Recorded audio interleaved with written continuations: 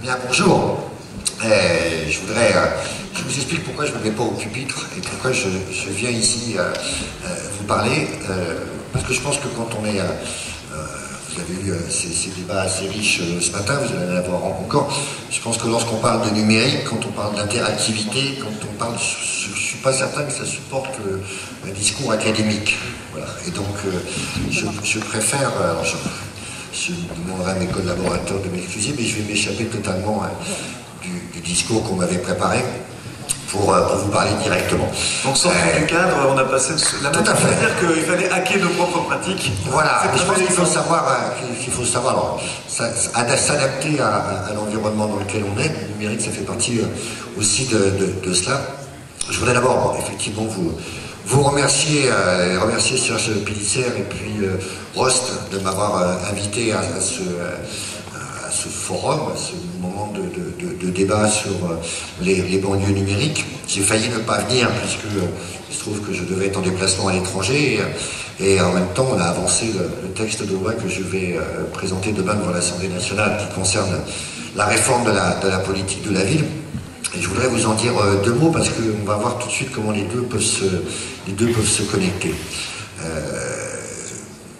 Moi, ce que je vois à l'intérieur des, banlieues, je préfère dire des quartiers populaires d'ailleurs, euh, parce qu'on a des réalités qui sont totalement, euh, totalement différentes dans, dans notre pays, c'est qu'il y a un paradoxe.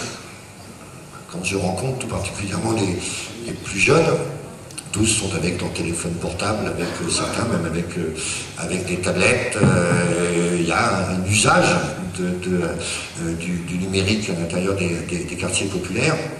Et en même temps, cet usage n'est pas organisé ni dans les vecteurs, ni dans les contenus qui, circulent. Il a pas et pourtant, il y a une spécificité particulière dans ces quartiers, dans ces quartiers populaires, et on le voit bien. Et le numérique peut être l'une des réponses à euh, une grande difficulté de, ces quartiers populaires. Quelle est la situation dans ces euh, 1300 quartiers du, pays? Euh, La situation, c'est que euh, vous avez ce que vous pouvez voir euh, en, banlieue parisienne, il y a un problème d'habitat, il y a un problème euh, d'urbanisme, euh, il y a un problème surtout euh, économique et social qui est, majeur, puisqu'on a un taux de chômage qui est deux fois plus important pour, euh, pour les adultes, mais trois fois plus important. Pour euh, les, jeunes, ça peut monter jusqu'à 60% à l'intérieur de, ces quartiers. Et puis il y a un deuxième phénomène que j'ai pu constater euh, partout. C'est qu'il y a un ressenti, souvent réel, en même temps de relégation, de stigmatisation, euh, de, de rejet. Quel que soit euh, l'endroit où on habite. Je vous cite euh, l'exemple à Mianor, lorsque c'est une ville qui a eu, qui a été le théâtre de- de- d'émeutes urbaines l'année dernière. Les jeunes de- d'Amiens, lorsque je les ai rencontrés, me disaient, mais on parlait de questions d'emploi, et entre autres comment on pouvait les aider pour. on disait, mais pour l'emploi, il faut y aller, quoi. Pôle emploi disait, mais nous on les accueille. Le problème, c'est que Pôle emploi était en centre-ville, et que les jeunes d'Amiens Nord ne vont jamais en centre-ville. Et donc euh, cette relégation, ce sentiment d'être euh, à part, ce ghetto à la fois physique et en même temps euh, mental, il est parfaitement, parfaitement réel. Voilà. Et je vous parle d'emploi, mais je pourrais vous parler d'éducation, de formation, je pourrais vous parler de culture. Ce sentiment, il, existe, il est présent dans, l'intérieur de, l'ensemble des, des- des quartiers. Donc voilà le tableau tel que je pourrais le brosser, euh, qui est un tableau euh, commun à la région parisienne, mais euh, à un quartier au quartier nord de Marseille, mais aussi, on en parle beaucoup moins à des quartiers du centre de la France qui existent dans des territoires encore plus, en plus, plus enclavés. Cette situation, elle est prégnante et je pense que le numérique peut être une des réponses. Je vais vous en parler maintenant. Deuxième, euh, deuxième chose que je voulais vous dire, je sais ce que ça veut dire lorsque euh, tout d'un coup euh, une population a accès au numérique. Il se trouve que j'ai été maire de Palaiseau pendant euh, 11 ans. Palaiseau, pour ceux qui ne connaissent pas, c'est une commune qui appartient au plateau de Saclay, donc c'est un haut lieu de la recherche et, du développement, et tout particulièrement de, l'informatique, du numérique. beaucoup de, et sont liés à, ce plateau beaucoup la création de beaucoup de start-up. tout particulièrement dans, ce domaine. Et il se trouve que Palaiseau est devenu l'un des douze sites pilotes qui fait que euh, euh, toute la ville va être entièrement numérisée euh, depuis maintenant une année à, 100 mégas. Donc on voit tout de suite la petite révolution que cela constitue, à la fois pour les individus, le premier réflexe, c'est bien entendu la télévision, l'apport de, toute, en matière de, de, de, culture, mais tout de suite on voit comment ça peut développer bien d'autres euh, domaines. euh, en matière de création d'entreprise, mais aussi participation citoyenne, euh, et on est à la, à préhistoire. Tout ça pour vous dire que dans, les, quartiers populaires, moi j'ai l'intention de faire que l'usage du numérique soit un des, vecteurs de, de, la mobilisation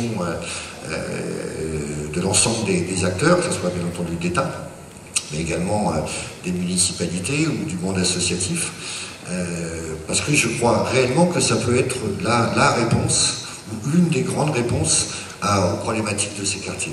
D'abord, euh, à la question du développement économique.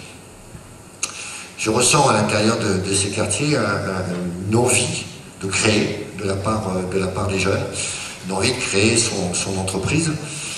Au mois de décembre, je présenterai au Conseil des ministres un plan non pas pour recréer quelque chose de nouveau, mais pour faire que lorsqu'un jeune a une idée de, création d'entreprise, il soit tout de suite accompagné. Et qu'à chacun des, stades, euh, eh bien, il ait euh, à côté de lui euh, la connexion avec le bon réseau d'entreprises, avec, ils en existent beaucoup, hein. il y a la Fondation Agir contre l'exclusion, il y a d'autres IMS, il y a beaucoup de réseaux d'entreprises, mais la connexion ne se, ne se fait pas. Voilà. Donc moi je souhaite qu'on euh, puisse avoir ce plan d'accompagnement des, euh, jeunes. Et là encore, euh, bien entendu, il faut que ça aboutisse à la, création d'entreprises. Et la création d'entreprises à l'intérieur des quartiers populaires, elle se heurte à d'une part cette question du partenariat, de l'accompagnement, ça on va tâcher de le résoudre avec ce plan, mais elle heurte aussi à des problèmes, des questions tout à fait matérielles. Des lieux, bien entendu, et donc dans les futures opérations de rénovation urbaine, on va systématiquement installer euh, des pépinières euh, d'entreprise dans chacun, dans, chacun des, quartiers qui vont être en, rénovation, mais aussi une pépinière d'entreprise qui n'est pas connectée. c'est une pépinière d'entreprise qui ne peut pas se développer. Et donc, c'est une des réflexions qu'on va avoir avec l'Agence nationale de rénovation urbaine, de faire que systématiquement, dans ce domaine comme dans d'autres, euh, la, question, euh, bien entendu, de la connexion euh, au débit fasse partie de toutes les opérations de, rénovation urbaine. Alors, là encore, il ne s'agit pas d'avoir quelque chose de très spécifique, mais il va falloir qu'on se connecte à la fois, bien entendu, au plan, gouvernemental, au, qu'on connecte, et ça c'est le travail de mon ministère, qu'on se connecte bien entendu aux, euh, plans départementaux engagés par, euh, par, les conseils généraux de façon à, ce que euh, le, lien avec le, haut débit se fasse assez naturellement dans les quartiers qui vont être rénovés. Mais on va avoir un deuxième enjeu, c'est comment faire pour que ceux qui ont été rénovés ou ceux qui ne le sont pas encore, qui sont finalement en grand besoin, se trouvent en situation de l'être. La méthodologie, euh, elle sera, euh, comme vous le savez, j'en ai parlé un petit peu avec euh, les organisateurs de, ce forum, qui ont eu beaucoup de difficultés à organiser ce forum. Ils me le disaient en arrivant, c'est qu'il a fallu mobiliser différents acteurs. Parce que le numérique, tout le monde s'en occupe. Et quand tout le monde s'en occupe, la réalité, c'est que du coup, ça devient souvent personne. Donc, j'ai le même sujet, la même problématique. Euh, en matière de, politique de la ville, puisque si bien entendu j'ai des crédits spécifiques, s'il y a la rénovation urbaine, s'il y a des crédits de cohésion sociale, mon enjeu à moi, c'est de faire que toutes les politiques publiques s'impliquent dans la politique euh, de la ville, avec euh, un cadre qui est le, contrat de ville, le futur contrat, celui qui sera adopté, je l'espère, demain par, l'Assemblée nationale. C'est le, document négocié qui va partir d'abord d'un diagnostic Et donc là, il va falloir que la question du, haut débit fasse partie de ce diagnostic. Mais ensuite, il va falloir qu'on mobilise l'ensemble des politiques publiques. ce qu'on pourrait faire entre nous, parce que je pense que c'est peut-être ça que vous attendez pour que de, ce forum, c'est qu'on travaille pour faire que, une fois qu'on aura posé les tuyaux, on travaille sur les usages. Et qu'on puisse petit à petit introduire dans ces diagnostics des contrats de ville, mais surtout dans les actions qui vont être décidées, le fait qu'on travaille sur les, euh, sur les usages. Parce que j'ai entendu, euh, peu de temps que j'ai pu assister, euh, des choses assez merveilleuses. Je voyais tout à l'heure l'histoire des, conteneurs. Je me disais, mais avant même de les envoyer à l'étranger, comment ça se fait qu'on ne les a pas dans nos quartiers? Bon. Mais il faut qu'on puisse travailler aussi sur le fait que lorsque dans un territoire, un département, ça arrive de plus en plus souvent, on décide d'équiper les jeunes collégiens de, tablettes, très très bien. Le vrai problème, c'est qu'on se pose la question de qu'est-ce qui se passe quand le jeune y rentre chez lui. Parce que lorsqu'il rentre avec sa tablette euh, chez lui dans un quartier populaire, c'est pas tout à fait la même chose que dans un quartier privilégié. D'abord parce que souvent il n'a pas le wifi. Bon. Et puis deux, il n'a pas forcément non plus à la maison celui ou celle qui l'accompagne, et pas forcément les bons contenus à l'intérieur aussi de la tablette. Et ça, moi je suis prêt à ce qu'on puisse euh, créer ensemble un, groupe de travail qui permettrait d'impulser à l'intérieur de ces contrats de ville euh, ce fil directeur qui doit être euh, le, numérique à l'intérieur de, ces contrats. Je vous parlais donc du développement économique. J'y crois beaucoup euh, en matière d'éducation, bien entendu, et de, formation. J'y crois également aussi beaucoup en matière de culture, parce que je pense qu'on arrivera à, sortir par le haut des quartiers, populaires si on prend appui sur, euh, sur la démarche culturelle. Ça, ça va être une des obligations nationales et là encore, bien entendu, euh, le numérique est un puissant euh, facteur de, diffusion de, la culture. Ça va permettre, j'ai quelques idées actuellement sur la création de, musées virtuels, d'accès finalement à, cet environnement qui existe et auquel, bien entendu, les gamins de ces quartiers n'accèdent jamais parce que comme, euh, comme, on me le dit souvent, euh, oui, même quand le musée est à un quart d'heure, il faut monter euh, le déplacement, il faut avoir un quart, il faut avoir de l'argent, il faut avoir le goûter, il faut avoir les accompagnateurs, et tout ça devient très très complexe bon, quand on est dans un quartier qui relève de la politique de la ville. Voilà, moi je vous propose qu'on puisse travailler, travailler là-dessus, et puis qu'on travaille sur un sujet qui pour moi est majeur, et vous le verrez demain lors de l'adoption du, projet de loi, c'est sur comment le le numérique peut être facteur de citoyenneté. Euh, moi, j'ai souhaité, euh, depuis plusieurs mois, travailler euh, avec un certain nombre d'acteurs sur le fait que maintenant la politique de la ville, ne peut plus se construire sans les citoyens eux-mêmes. C'est un paradoxe d'ailleurs, c'est que on a, lorsque on fait une réforme de l'éducation nationale, on Ensuite, on consulte les syndicats, on consulte les, parents d'élèves. Quand on change de, code du travail, on consulte les organisations syndicales. En politique de la ville, à chaque fois qu'on a voulu modifier et transformer un quartier, bien entendu, certaines municipalités informent, euh, s'expliquent, mais c'était pas naturel qu'on puisse euh, demander non seulement l'avis des publics, mais les associer totalement euh, à, la construction de ce qui va se faire à l'intérieur du quartier. Et là encore, je pense que le, numérique peut être pour, pour, moi et pour surtout les habitants de ce quartier un, vecteur exceptionnel parce que qui dit démocratie dit on va créer des conseils citoyens. Donc c'est déjà comment. on peut aller beaucoup plus loin.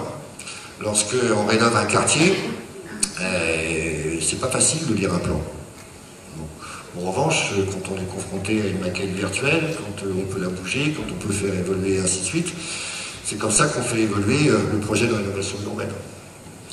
Donc euh, je crois qu'on a, je vais vous dire ça en, conclusion, euh, je pense réellement que, cette question que vous abordez aujourd'hui à l'occasion de ce, premier forum, c'est une question majeure. On rentre dans un monde totalement nouveau.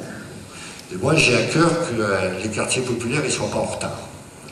mon souci, c'est de mobiliser euh, l'ensemble des politiques euh, publiques, l'ensemble des, euh, des, acteurs, pouvoir public, le monde associatif, simple citoyen, pour que, en matière de développement économique, d'éducation, de formation, de culture, ces quartiers, j'allais dire, quand on va rentrer de plein pied dans ce nouveau monde, ces quartiers ils, soient prêts. je pense qu'on a toute la possibilité de le faire parce que, pour ceux qui les, qui les connaissent, vous le savez bien, il y a une telle volonté, il y a une telle énergie, il y a un tel besoin de créativité à l'intérieur de, ces quartiers que finalement, euh, cette phrase un peu banale qui est de dire euh, euh, ces quartiers, ça peut être la richesse de notre, pays. Je pense que grâce au numérique et à l'usage qu'on peut en faire, ça peut devenir effectivement totalement une réalité. Donc voilà, donc je suis de tout cœur hein, non seulement avec vous aujourd'hui, mais je pense qu'on se reverra prochainement pour qu'on puisse réellement travailler ensemble. Merci à vous. Merci, merci beaucoup, Monsieur le Ministre. Merci pour euh, ces encouragements et ces, engagements. Il est clair que aujourd'hui on est au début de, cette aventure-là et merci de, voilà, de regarder, euh, de prendre en compte euh, ces aspects-là. Guy, peut-être une question, Monsieur le Ministre? Non, pas vraiment une question, mais plutôt des félicitations pour s'être approprié autant ces concepts. Et je retiendrai un peu pour le mot de la fin, c'est que nous entrons vraiment dans, un nouveau monde, et je crois que ça a été très bien explicité, nouveau monde dans la transformation de l'économie, transformation de l'État, modernisation de l'État, mais aussi transformation de la ville, citoyenneté, tout ça, c'est un véritable gisement, bien sûr, de compétitivité, mais aussi d'emploi. C'est pour ça que nous sommes là. Merci, Monsieur le Ministre.